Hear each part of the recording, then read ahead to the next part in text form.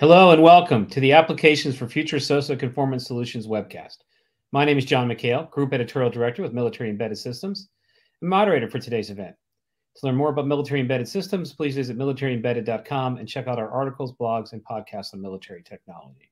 Just a quick note on the title of today's webcast. We call it Applications for Future SOSA Conformance Solutions because the SOSA conformance process has not yet been set up, but it's still possible to be aligned the SOSA technical standard, and we're going to speculate on what those applications will look like and have to be able to do going forward. And that's what our experts are here for. And speaking of those experts, our speakers today are Duc Huy Tran, Vice President of Global Marketing with Aitech, and Dominic Perez, Chief Technical Officer to, with Curtiss-Wright Defense Solutions, joining the company in 2020 when they acquired PacStar. This webcast is sponsored by Aitech and Curtiss-Wright Defense Solutions, and the event is hosted by Military Embedded Systems Online and Open Systems Media. Now, before we get started, I have some short housekeeping items to share with you. This and all Open Systems Media webcasts are copyrighted and may not be recorded or used in any way without the express written consent of Open Systems Media. This session will consume about 40 to 45 minutes, leaving the remaining time for the question and answer session. You'll find on your console window an area where you can enter your questions in real time. If you have a question pertaining to the event operation itself, one of our technicians will get back to you during the webcast. We encourage you to ask questions throughout the webcast while the question is still fresh in your mind. Then we'll address as many questions as we can during the closing Q&A portion. If you have a question for a specific speaker, please note so at the beginning of your question, or I'll offer the question to both of our speakers. Please note that as much as we'd like to, we may not get to all of your questions that day. In that case, some may get back to you after the webcast with more information. On the console, there's a handout section. That's where you can find the slides being presented today. This webcast will be archived online. The URL shown on your screen will be available within 48 hours. Once up, it'll be available for one year. Now it's time to get started. So I'm going to turn it over to Duc Huy Tran of Aitech to get us going. Duc? Hi, thank you, John. Thank you for the introduction and welcome everyone. And uh, thank you for joining our session uh, today. Um, I'm going to spend the next uh, 15, uh, 20 minutes talking about accelerated innovation for the SOSA systems and I'm going to cover a few different topics. Okay, so I'm going to remind uh, everyone a little bit why SOSA uh, military cross-platform, why it's something that everyone, uh, it's very beneficial to everyone. So we, I'm going to spend time talking about some of the benefits of SOSA and conformant uh, systems. Uh, also looking at the uh, the future of the battlefield and the very increasing computing needs then the then I'll be talking about the SOSA conformance. Uh, so the how do we get there, the path towards towards it, and the planning for SOSA conformance in terms of product uh, development. And what do you need to think about when you you prepare for a conformant uh, process? And then I'll walk you through the uh, SOSA conformant uh, certification process. Obviously, it's not something that we've already done because it's not the process that is finalized. Uh, but this is something that you can still prepare for. Then I'll close it out with uh, a SOSA use case and what Aitech is doing uh, in this space. Okay. So just a recap on why SOSA to begin with, and I, I think we we uh, probably fairly familiar with it. The first thing is actually if you want to have business with the DoD, you you need to be SOSA compliant in the future. Um, so even that's not spelled out in here, that's the that's the first reason why you need to have uh, SOSA. But there's some other fundamental reason as well that is very beneficial to the whole ecosystems. The first being a strengthening um, the whole ecosystem and interoperability between systems. And this is one of the key pillars of uh, SOSA, which is making sure that the systems from uh, different vendor um, can work with uh, each other. Uh, this is quite fundamental as the defense systems are ever changing, and the changing is, uh, is happening rather uh, accelerated as well. And this is something that can deploy in multiple platforms across land, across air, sea. And actually, what's not here is actually um, uh, something that uh, could be end up in space, even though it's not going to requirement, but uh, the space technology is bringing some of the um, other technology into it streamline development and computing requirements. So it's also a, a way to, to make upgrade uh, technology easier and to keep up with uh, rapid technology advancements. We all know that technology uh, development, it's, it's only accelerating. Um, and SOSA allows you to keep up that acceleration. and also ultimately is to protect the investment that you already made. Uh, the system are fairly expensive, and they are in service for a fairly number, uh, fairly long number of years. We're talking about decades in certain uh, systems. And so you, you can upgrade the, the performance, you can upgrade the, the use case that will change over time uh, with it. Um, the third thing is uh, compatibility for flexible product development and technology selections. Um, this is back to the interoperability, which is allows us to build and design systems that will work together so that companies can spend time, um, uh, the supply chain can spend time developing the, uh, the product and the requirements, uh, less time on simple integrations. Um, and I say simple, but it's, it's that's the complicated part. Uh, and if you remove that complexity, you you can um, have much more flexibility in, in, the, in, the, product, and you can change the use case of the product uh, over time as well, uh, which leads you to more seamless upgrade and uh, replacements. And by having a common platform, um, you you can deliver many different uh, applications, and this will lead to more cost efficient cost efficiency and a unify network of uh, partners. This will also greatly simplify the, this, the global supply chain um, and also uh, availability of replacements and availability of uh, parts um, um, as well. So there's some real benefit to uh, to having SOSA um, on um, as, as, part of it, and irrespective the fact that you actually need to have it. Okay, so what uh with all that, what are some of the uh, takeaway benefits? It's faster development times. I think if, if you take it all together, what used to take years, you can talk. You can imagine in a world where everything gets a SOSA conformant to be done in a matter of months, as opposed to years, because you don't spend time uh, uh, doing integration between systems um, uh, as much as you would today and you can combine boards and components for uh, integrations, integrated solutions. It's also um, uh, more reliable once uh, once you you have these systems on. You have the system that is already pre-tested uh, that are common uh, communication protocols between different systems and within the the same systems. So that will improve uh, reliability as well, and this will lead to lower risk. Um, to to to go through the conformant testing, you would have to do the test uh, at the uh, within the supplier itself. Then you have to be verified by the verification authority. Then you certify. So all of that, all of that is qualified, tested uh, ahead of time, and so that should reduce the interoperability issues, and uh, you can use it for many different uh, mission profiles. And of course, uh, if you save time, you lower risk and it's more reliable, you will ultimately lower the NRE costs of the systems. Um, you can decrease uh, maintenance costs. And um, uh, because the, the, the, the SOSA nature of the system is, is uh, inherently modular, so it's also make for uh, upgradability and scalability uh, a lot easier.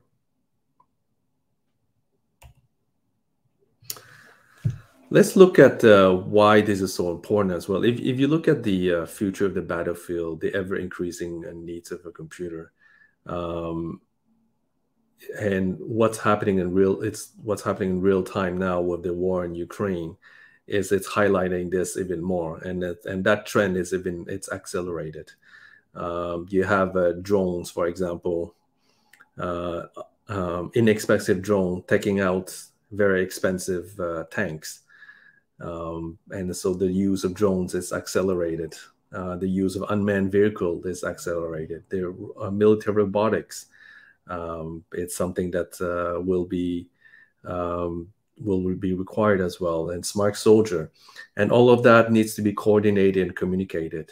And the common thread through all of them is the fact that you're going to need high processing power.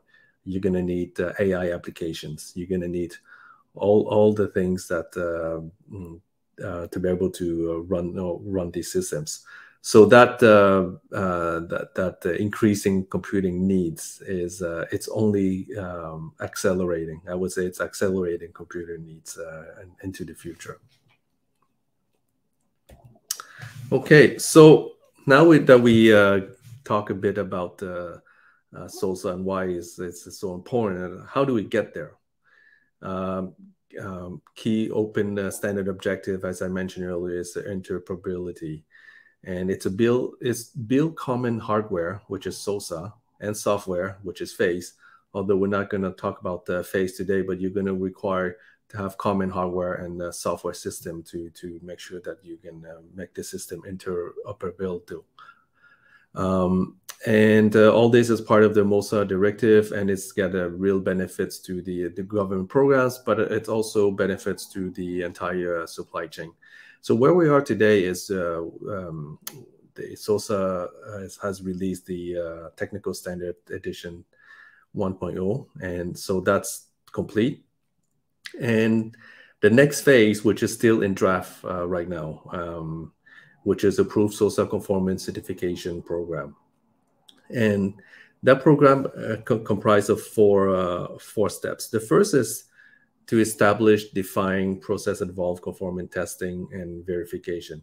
Essentially, what what the module you, you, you need to conform to, what are the testing requirements, what documentations, um, and they're to lay, lay, it out in, in, in, details and that's to come out um, uh, in phase approach as well um, the reason why um, all these things are coming up in phase approach is that the, the sosa standards is very broad um, and many things to define so depending on uh, what are the needs of the supply chain um, they will release it uh, in, in, in, different priorities of the different uh, process the uh, then the second step is provide uh, available and test the SOSA test suite uh, for initial verification. So to get into the testing um, is for the supplier to test out the, the systems to know what test suite to to look for and to uh, submit the test result to the verification uh, authority. Then the third step is establishing third-party uh, independent verification authorities. Uh, so there'll be a multitude of uh, independent uh, verification authorities that that will be used to do the the verification testing. And then the fourth step is to establish and maintaining a certification register. This is where once the the each product that is a conformant um, can go on this register and you can search for it and uh, you can have access to which product gets a SOSA conformance. So as I mentioned uh, just a bit earlier, uh, this is going to be a, a phase approach um, and we're going to expect that to the release of these things formally to be sometime uh, later this year.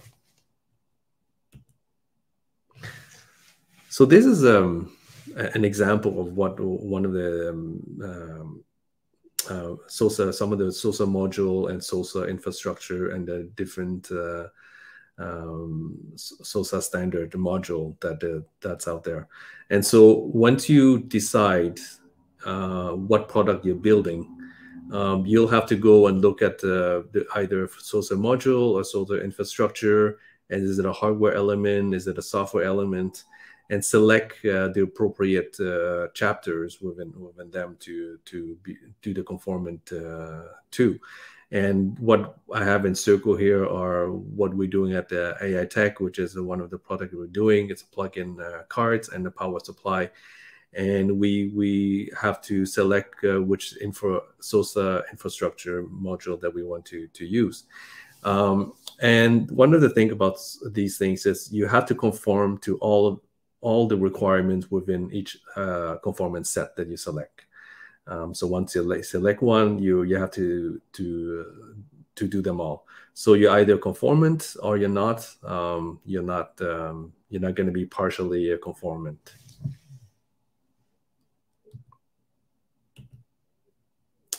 Okay.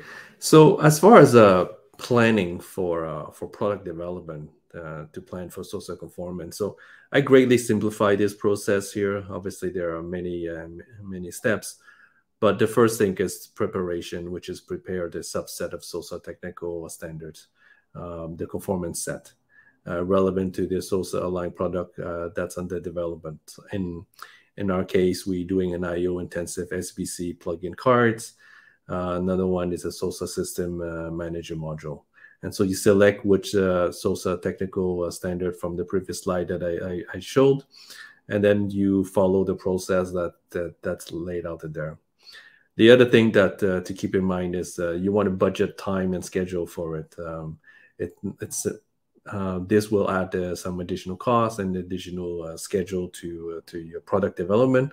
So this is something that we make sure that we, we do it as well. Um, even though you you can design for um, a SOSA aligned product, but you have to go to account for a SOSA conforming certification process as well. Um, and then the, the third portion is the obtain and use appropriate SOSA test suite for internal product design verifications uh, to detect and fix conforming issues at an early stage. Um, by the time you send to the authorities to verify, you should be doing all the tests yourself already and fix all the issue. Um, you're going to want to debug that internally. Uh, you're not going to want to use the authorities to uh, to debug it for you. So um, by the time you, you send it to them, it should be uh, all tested internally and everything. So these are some of the three steps that uh, that we're doing right now with some of our product uh, de development. So, and let's touch a bit about the conformance uh, certification process. And as I mentioned earlier, it's still in um, in a draft form. Uh, but it's it's it's it's it should remain more or less the, the same flow. So it's comprised of three major steps. So the preparation step, uh, which is done by the supplier, the verification step, which is by the verification authority, and the certification uh, step, which is done by certification uh, authority.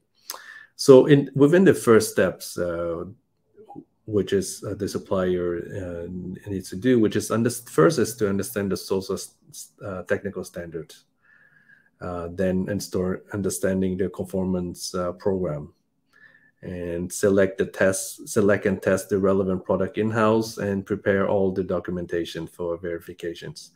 So once we do all that, uh, we have two documents that we're going to submit to the verification authority, which is a conformance uh, statements and a verification uh, matrix. Um, essentially is to say what the product is, what it does, uh, what are the tests that, uh, what is the uh, conformance test set that is that we use, and also what are the tests that is a conformance test that is required and we submit that to the verification authority, which is a third party um, uh, selected by uh, the uh, Open Standard Group. And then they will do the verification testing. Uh, they will do it, not the, the not the supplier. And if, if uh, everything is uh, okay, then they release a verification report. Now, if it's not okay, um, then they will give you a report and tell you what it is, what are the things that didn't work, and it's up to the supplier to fix that and resubmit. Uh, again, this is you either conformant or you're not, and so um, this is a step where you, you may have to do some iteration if uh, if things uh, didn't go the way it was planned. And then the last step is verification. Uh, um, uh, sorry, uh, certification of, of it. So once you have the verification uh, report, you pass on the certification authorities. They review the document. They compare to what you test, what you say is accurate. Um, there are some uh, things to sign, documents to submit, uh, fees to uh, to to provide. Uh, once everything is done, then you get a certificate. And once you get the certificates, uh, it goes into uh, certification to register, and you can add that um, now it goes into the database that now everyone can have, look up and see uh, that your product is now a SOSA conformant. Um, and also, once you, you get the certificate, now you can claim your, your product to be SOSA conformant and you can use the trademark on your website, your collaterals, um, and everywhere. everywhere. Um, so that's uh, that's the process of uh, uh, the conformant uh, SOSA process. Now let's look at a bit of um, uh, now that we know why SOSA and and uh, how to uh, get the conformance. Let's look at a simple example of uh, the the use case and the power of you having a SOSA systems. So if you look at this um, this slide here, it's um, we have, uh, for example, a multi-purpose um, um, um, systems here, where you have the SOSA uh, PSU, the SOSA SBC, uh, two SOSA SBC, and two SOSA GPGPU. And these are some of the product that uh, we are currently developing. You can imagine where you have a system with all these SOSA uh, um, boards to fit on the same uh, computer, and it has a standard slots and uh, for example, you can have a use case for visual AI and object de detection in this case.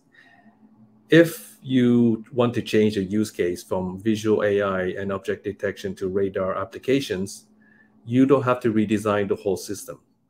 All you have to do is swap the two blue uh, bar, the SOSA um, GP GPU, for SOSA conformant processing uh, RF for processing board by swapping two boards without having to redesign everything, you now have a radar application instead. And so you, you can see the, the power of this. And this is a very simplified uh, systems where you have a five module and you swap two of them, you have a different applications. If you swap another two system or you swap a bunch of other ones, you can create more applications. The other thing is because you have the same SOSA slot profile, you you can also upgrade the systems uh, and uh, future-proof the system so that if you have a newer generation GP GPU and it's SOSA conformant, you can also swap with the one that you have, uh, and everything should be working. The main difference, and in, in, simplistic terms, the main difference between SOSA Align, which uh, this is what we can do today, to SOSA conformant is Align means that it should work but SOSA conforming means that you know it will work. And, and so we want to get to a point where uh, every system is uh, going to be SOSA conformant so that you can swap things easily for upgrades or, or simply partner up with uh, a different vendor, which is the, uh, the other things. I mean, uh, for example, in, in, this case here, uh, we have the SBC, the P PSU, and GP GPU but uh, at Aitech, we did not have the uh, RF processing board. And so we can use a third party processing board and apply it in, and you have a whole different use case. So it opens up uh, a lot of options for the industry to do that. And you can see the, the, the power of it. And this is on my uh, last slide here. So just a, a bit about Aitech, some of the things that we're doing. Uh, so we're investing in uh, SOSA systems uh, we're investing in uh, Intel and PowerPC board uh, SBC that you see in uh, one of the top picture here. Uh, in uh, GPGPU AI graphic processing, this is fairly high demand right now that we have. And also we're investing in high efficiency power supply. Um, and this is just a start of what we, we're doing. And we're going to have many more in the future. With that, Thank you for listening.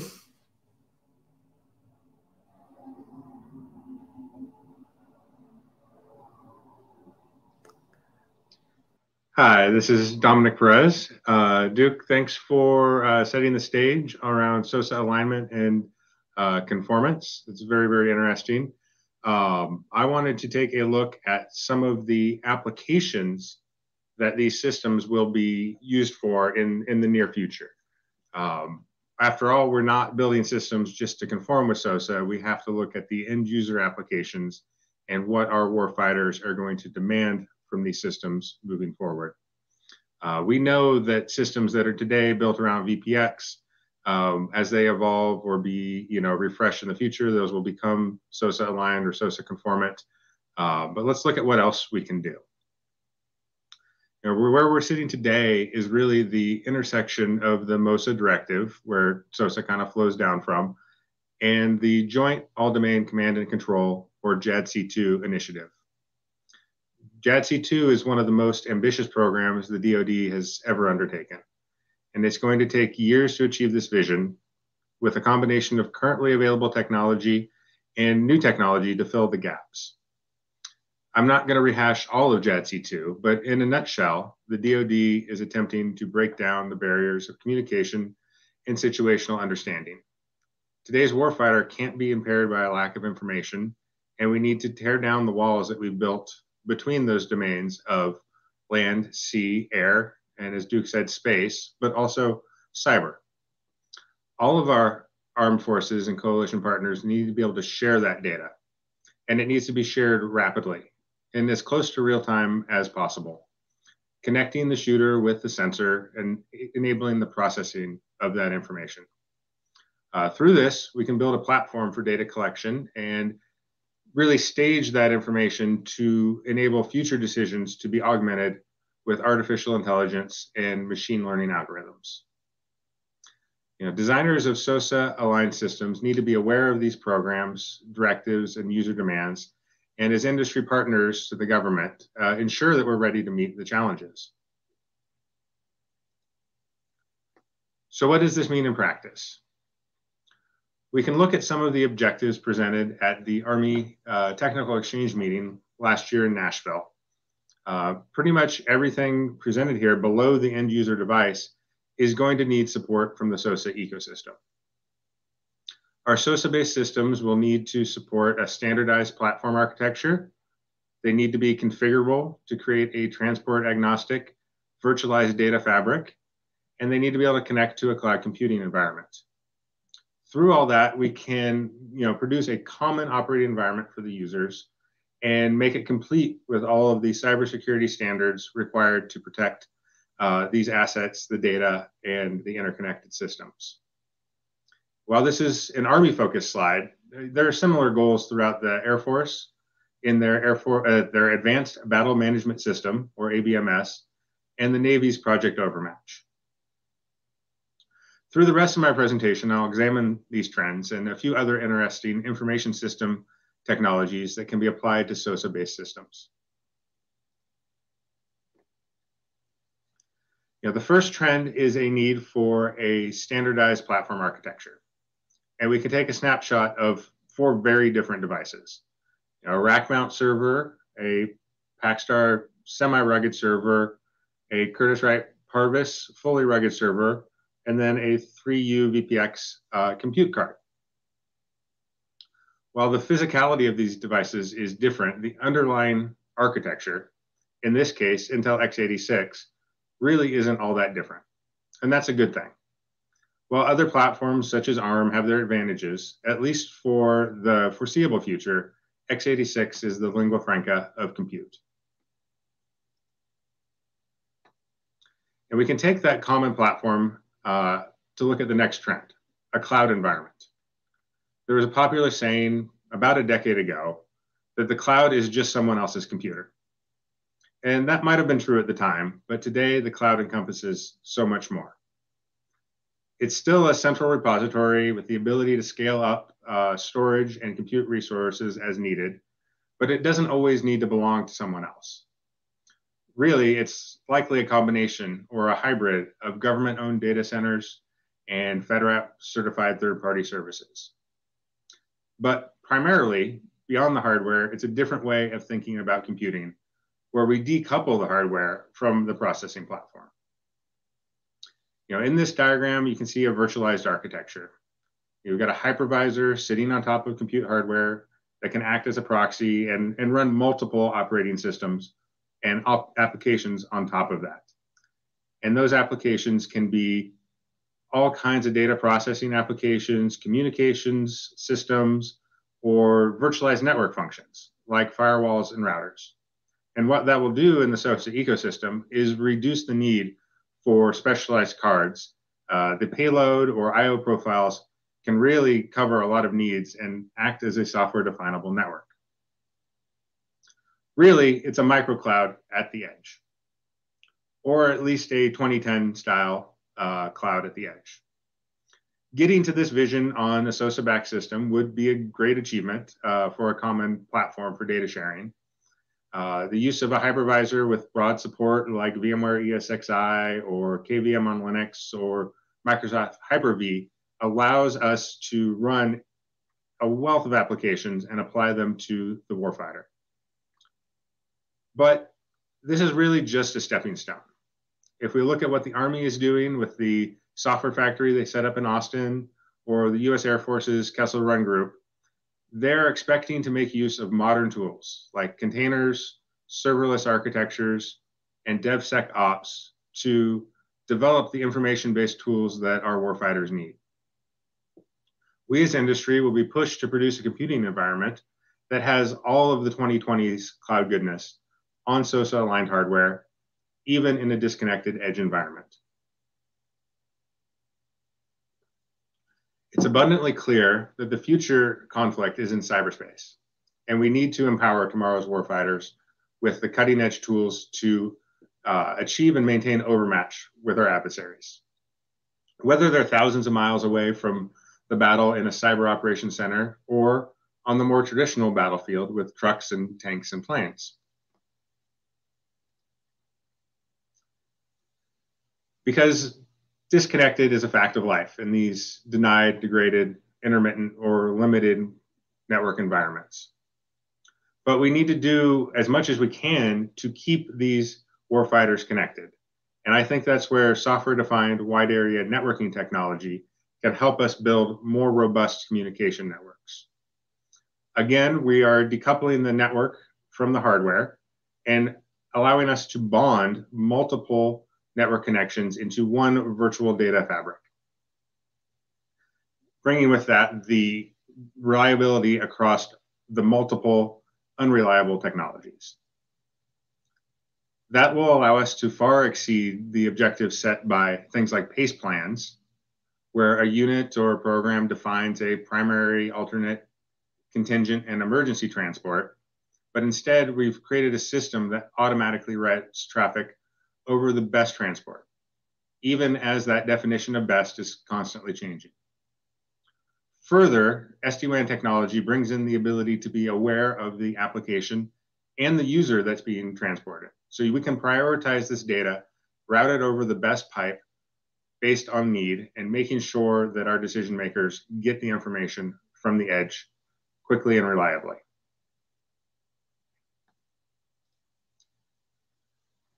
On this slide, I have got a diagram that outlines one such system that Curtiss-Wright and Cisco demonstrated last year.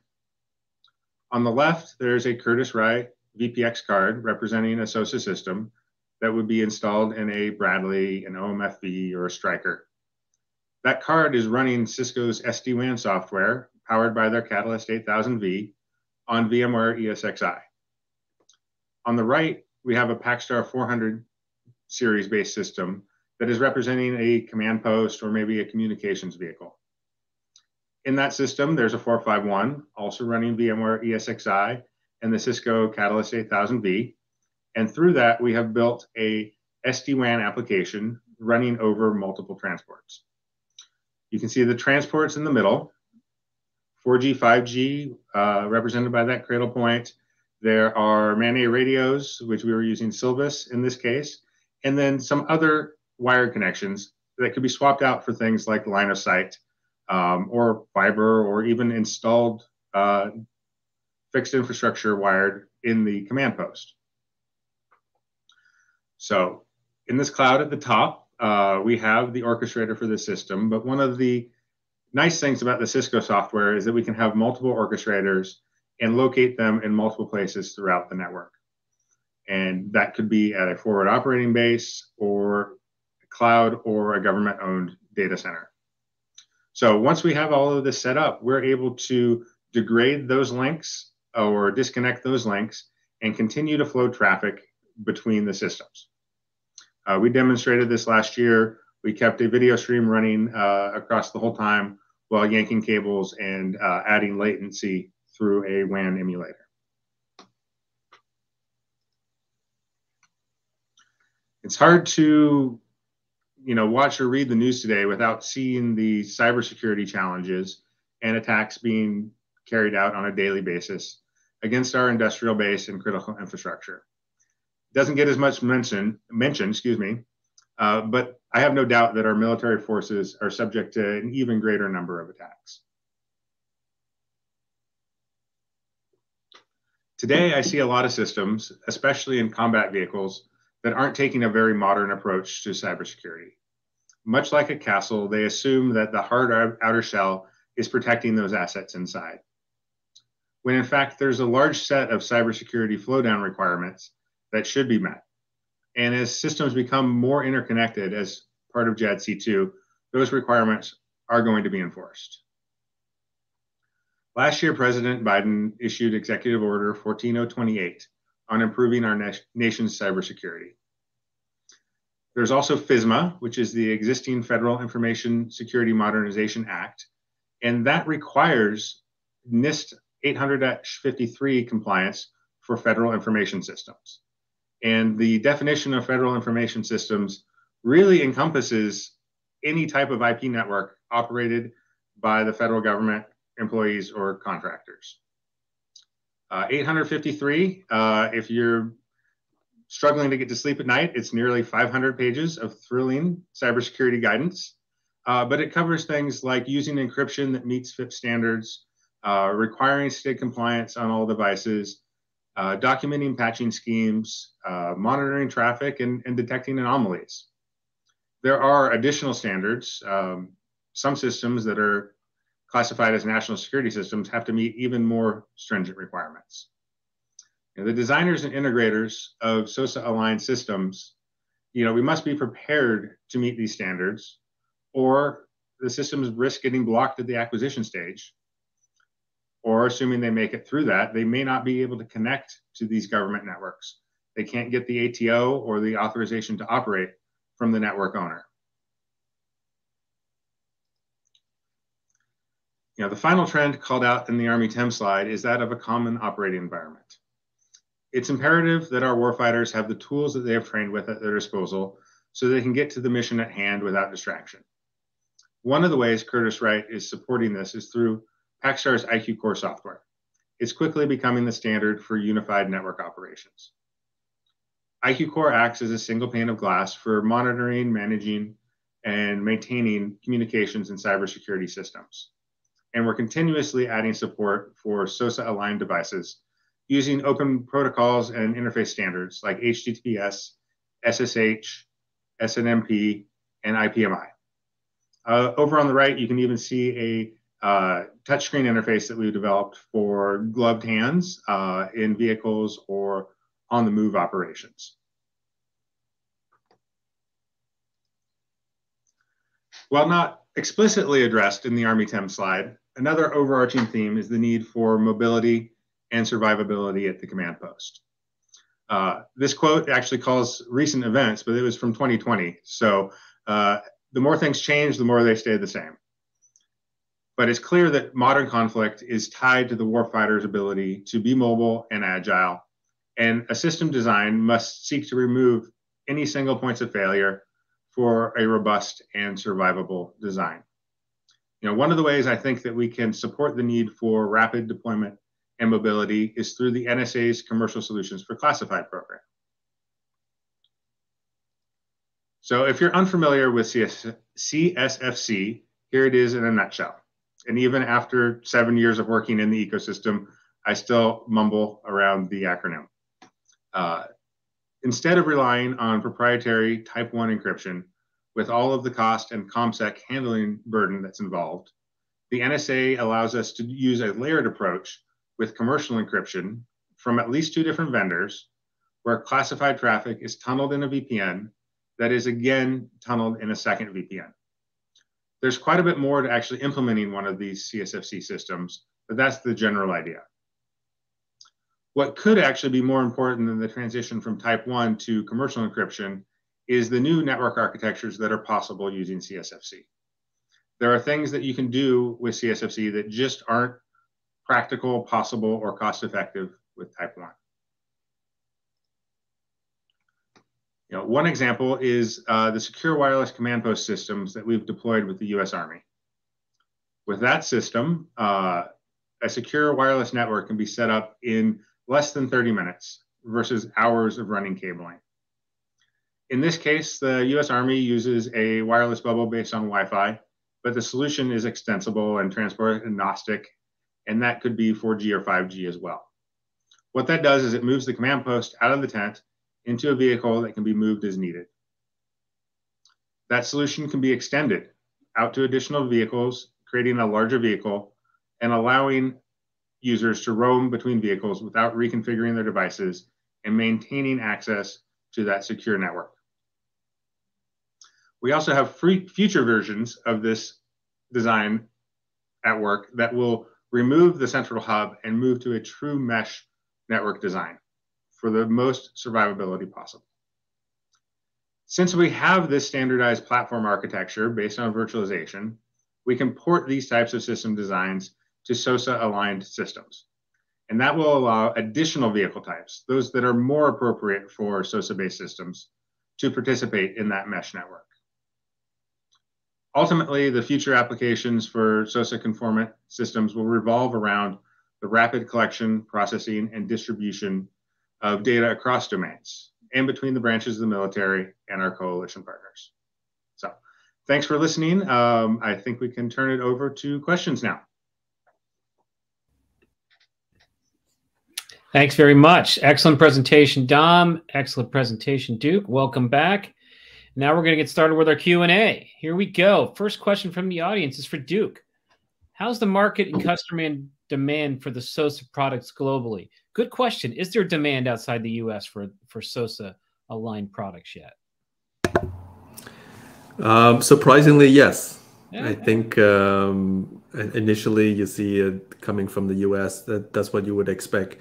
But the supply chain is very global and um, so you have uh, suppliers uh, working with uh, other countries that are also companies out not us based company who wants to sell into uh, into the us is also complying with uh, sosa standard. And so we see a fair amount of demand globally for it uh, israel and europe um, obviously all nato partner countries and not not the other the other side uh, but uh, yeah, it's it's actually and, and I guess in absence of having a um, an open standard, that you might as well adopt one that already exists.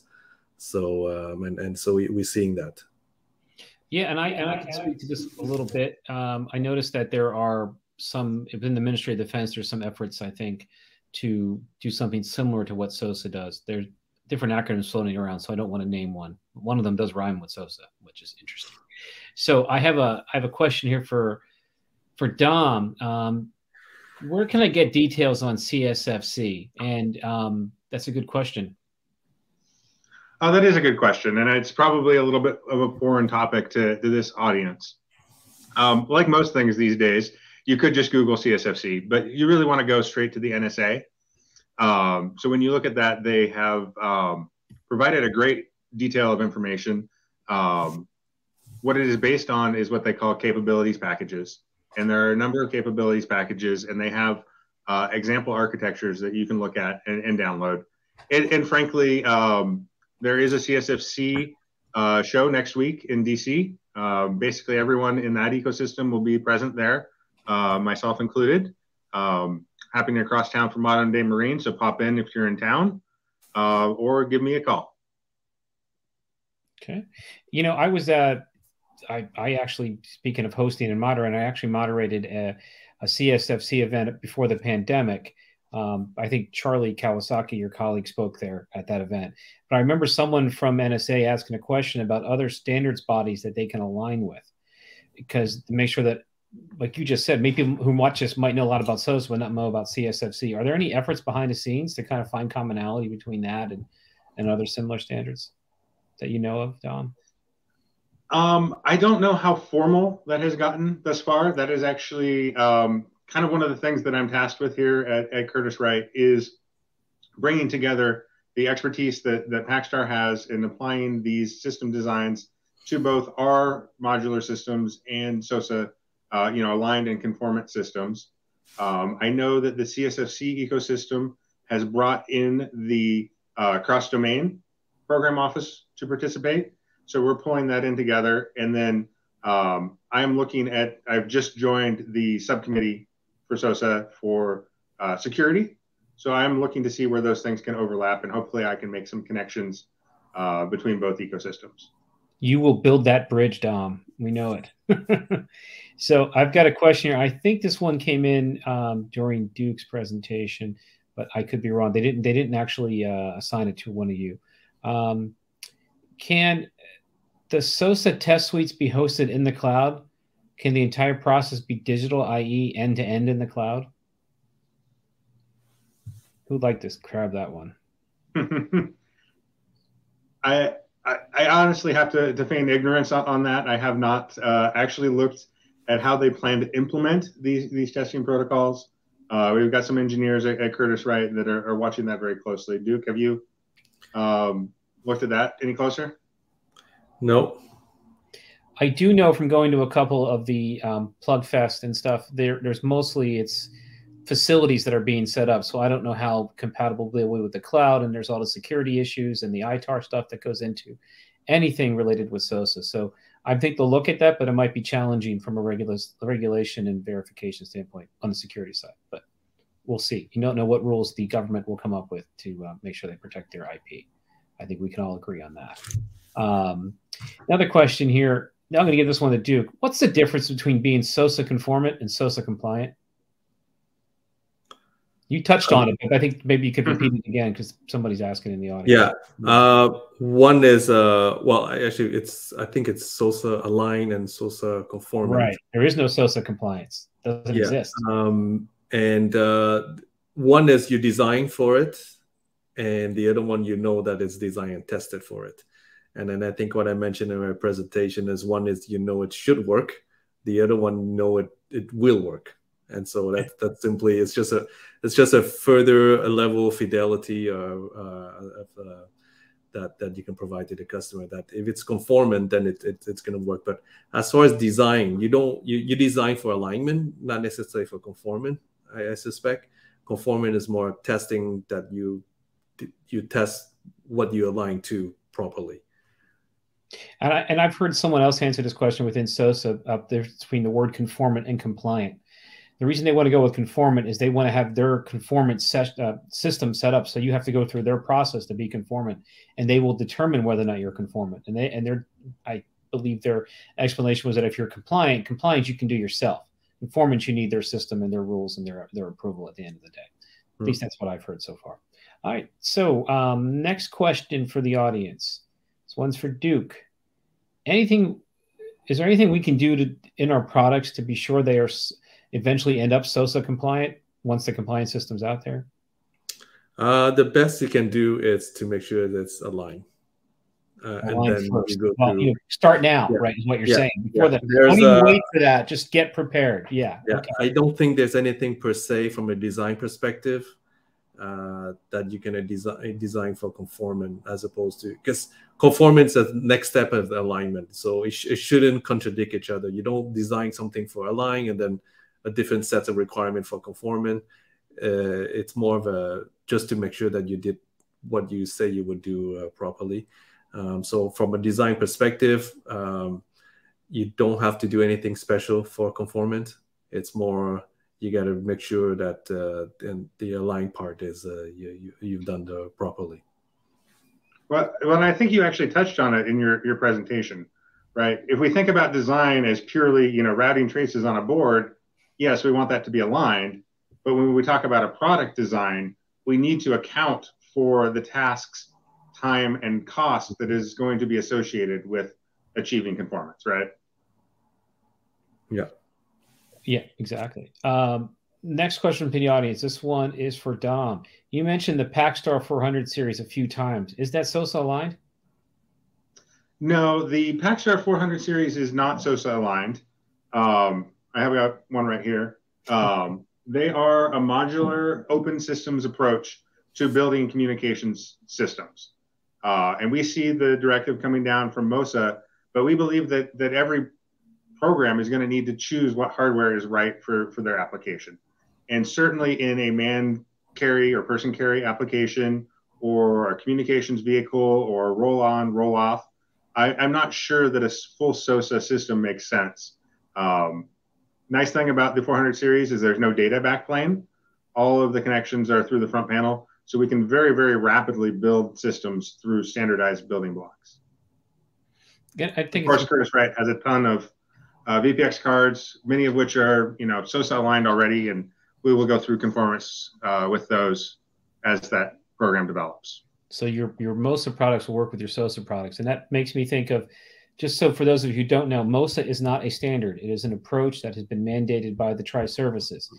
And yes, it's another acronym that rhymes with SOSA, but that means nothing. Has nothing to do with it. So it's because they have similar words. So MOSA is a strategy. SOSA is an example of MOSA, as is the Future Airborne Capability Environment, which is a software about software APIs and, and reuse uh, for avionics systems.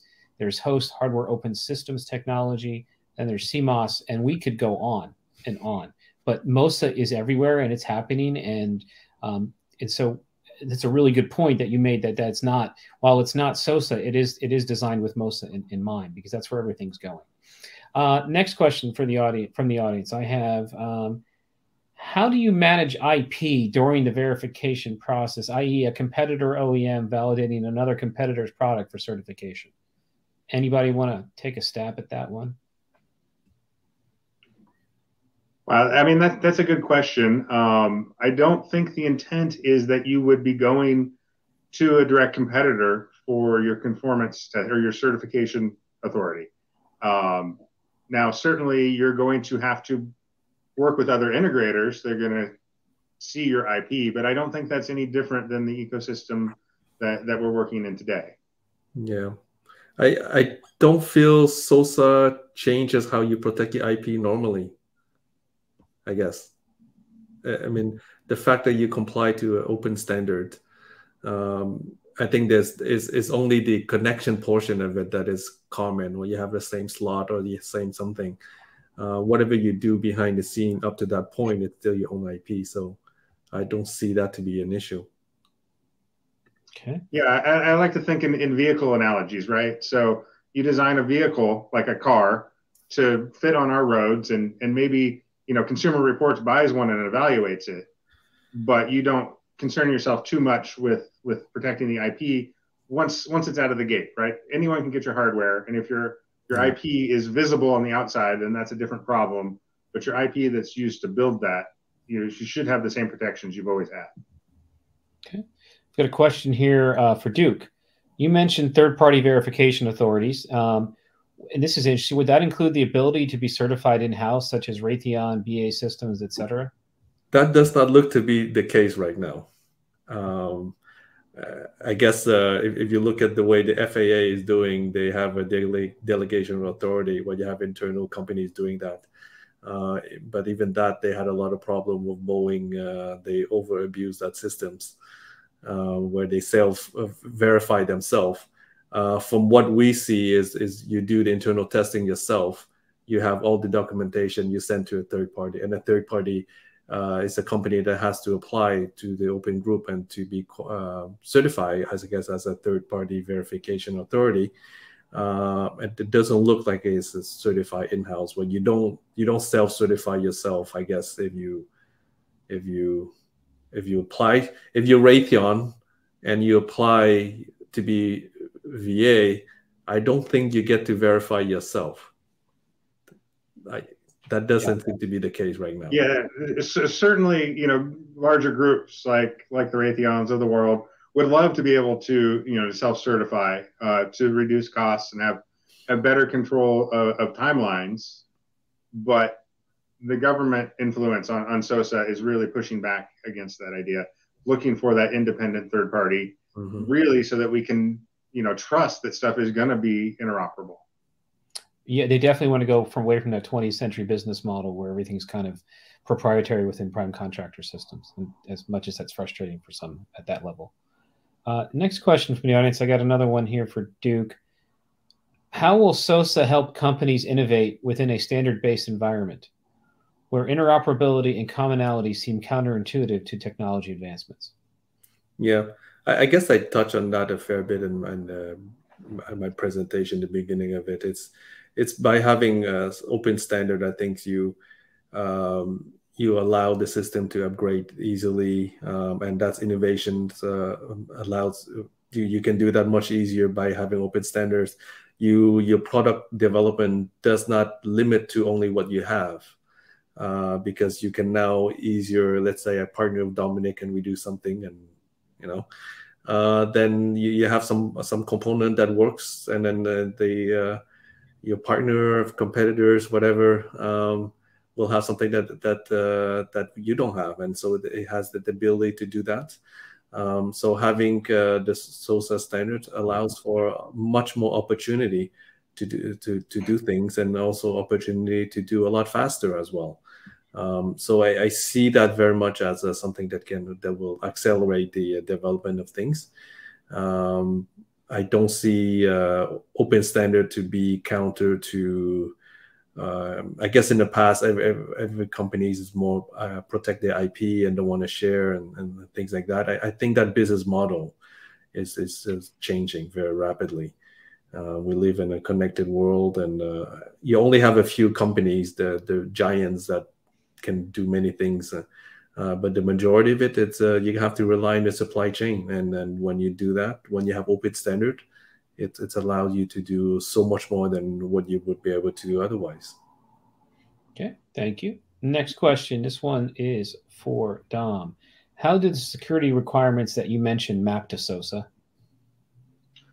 Well, that's a that's a really interesting question, and and like I think I mentioned uh, in one of the earlier answers, uh, I'm planning to start participating in the SOSA subcommittee on security and, and, making sure they're looking at the broader cybersecurity infrastructure and not just you know inter intercard and, and cross domain. Um, so that's something that, that we as an industry need to look at and something that anyone who's interested in, uh, I encourage you guys to reach out to me. Okay, I got another one here for you. Um, if virtualization is 2010's tech, why apply that to SOSA? Oh, sure. Uh, you know, that's a little, little bit flippant uh, of a comment there for me.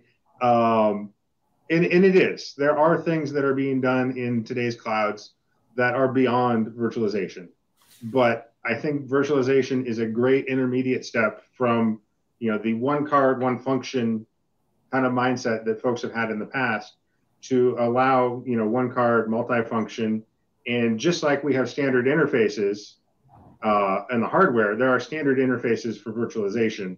And then we can swap out those subcomponents at a software level and not be tied to an existing design be more flexible and not have as many point product cards. Once we get there we can start looking at evolving and bringing those serverless technologies things like DevSecOps onto the platform first as a virtual machine and then down to lower layers. And that's really what's happened in, in enterprise and industry over, over the last decade. They didn't just flip a switch one day and it, it happened. It's an evolution. Okay. And Duc, uh, I've got a question here. I think this, I'm going to turn this one to you because I think it's about uh, what is the timeline for conformance? What's the timeline for these steps? Do we have an idea when? We are guessing later this year. well, I do remember at a press conference. This is to the to the the questioner. Um, I did ask that same exact question um, of some folks from SOSA, and when they right after they announced the technical standards, this would have been in October. I think it was in an AUSA press conference, the big Army show, and they said 12 months from October. So that tr- that kind of goes with what Duc just said. So hopefully by the end of the year.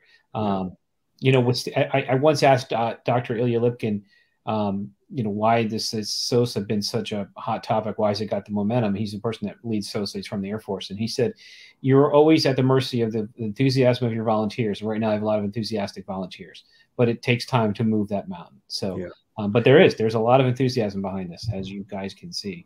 Um, and so, I, I, got one more question here. Then we're going to have to kind of end it. And this one is um, this is not. Uh, addressed to anyone, so I'll take you guys pick it. I'm going to throw since I just gave out one to Duc, I'm going to give this one to you, Dom. How much participation have you seen or do you expect from major cloud providers like Microsoft, Amazon, and Google and SOSA? We have seen the processing companies, NVIDIA and Intel join. What about the cloud guys? Well, that's that's very that's a that's an interesting question, and I I can guarantee you they are paying attention. Um, but I do not know that they will interject themselves at the SOSA level. They may choose to stay one level above that and be the systems that they connect to.